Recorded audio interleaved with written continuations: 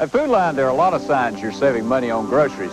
Like these bonus buy signs at the end of an aisle. These are special buys we've gotten from manufacturers.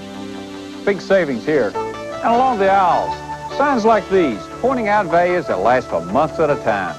Up above, more signs, pointing out more unadvertised low prices. Come on in the Food Lion soon, because all the signs say you don't pay full price for groceries at our store.